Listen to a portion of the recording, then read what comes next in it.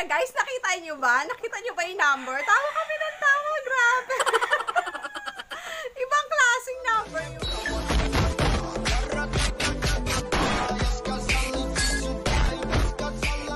Please like and subscribe. Hi guys, good morning. Welcome back to my channel. Swell77 po ang inyong kamano, katukan at kasisi po ninyong lahat. Ayan. Nakikisali sa ating manokis. Ayan.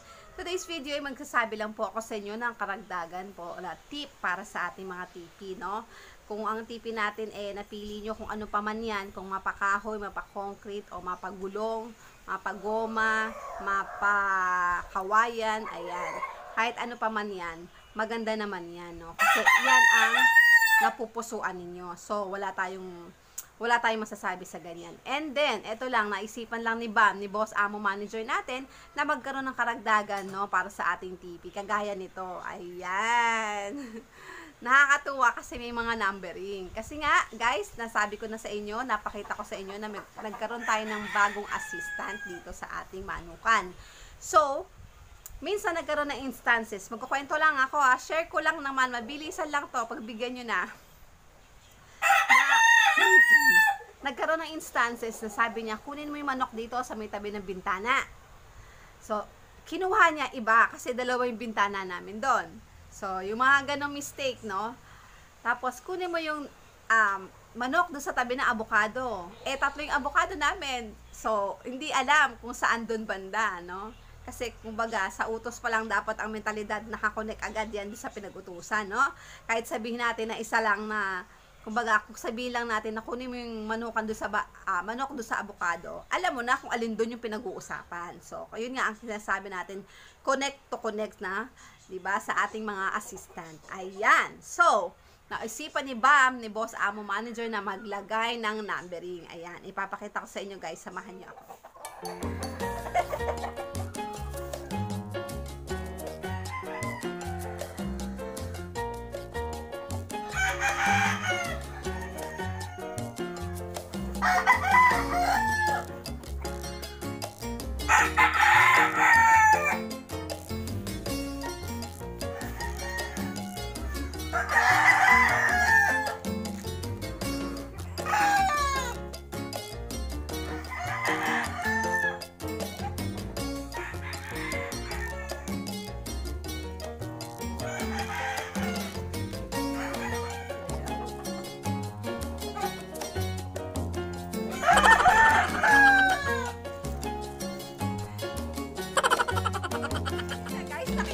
ba? Nakita nyo ba yung number? Tawa kami ng tawa, grabe. Ibang klaseng number yung ginawa niya, di ba? Ay, nako. Imbis na matuwa si Bam, aya uminit na naman ang ulo. Nakakatawa lang. Well, shout out pa rin sa iyo RJ sa aming assistant. Nakakatuwa ang ginawa mo. Hindi naman ako, hindi naman ako naiinis sa mga ganyan. Ito lang si si Bam natin. Magsasalita lang yan, pero natatawa siya. No? Natawa talaga ako dun sa numbering na yun. So, guys, hindi lang assistant na nakuha namin dito. Meron din po kaming comedian. Ayan, nakakatawa talaga. Akalain mo yung number niya is magkabaliktad. Pero, napaka good vibes ng bata na yon. Matatawa ka pa rin talaga. At sa mga pasok niya ng mga salita. Hindi ko mapigilan. Ayun lang. Sige po. Ayun na nga guys. So, merong number. Maganda naman yung pagkakasulat. di ba? Nakita natin hanggang 14 yan. Para ay, ano yun? Tumitubulo. Tubig. Okay. Ayun nga. Para naman hindi nagkaka ah, nagkakagulo. Hindi siya maguluhan. Siyem- Siyempre, medyo bago-bago pa lang yung ating ah, kasama.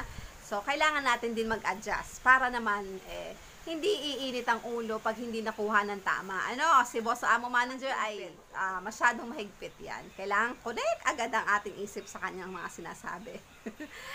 Siguro kasi, ang pagkakondisyon ay isang stress din, ano? Kumbaga, marami kang iniintindi. Kasi ilan yan nga, 20 sila. Oh, marami kang iniintindi. So, kailangan isang salita mo pa lang, alam na. nga, bilang pag adjust kaya kailangan magkakaroon ka rin ng ah, idea kung paano ka mag adjust Kasi nga, hindi agad makabisado ng ating assistant yan. At gagawa ka ng paraan para sa kanilang adjustment. Para naman hindi mainit ang ulo ng both sides at hindi naman magkakamali both sides. Okay? Ah, ano pa ititip natin sa, sa inyo? Ayan, eventually ma- malalaman niya at makakabisado niya na rin ang mga klase ng mga manok, ano? At siguro bigyan natin ng mahabang panahon pa para po sa mga baguhan, eh very useful po itong ah, aking binigay na tip, yung pag, paglalagay ng numbering sa TP, no? Very useful din po 'yan para naman sa mga baguhan nating mga assistant. Okay. At para naman kay BAM Amo Manager, maganda rin yung tip na naibigay mo. Mag, magsusulat tayo ng number para naman sa um, Ayon, para naman sa madaling identification ng kanilang mga ah, manok. Okay? Ayun lamang po, 1277 po ang inyong mga kamanok, katukan at kasisiw. Ayan ang aking tip for today. Okay? Thank you. Bye-bye.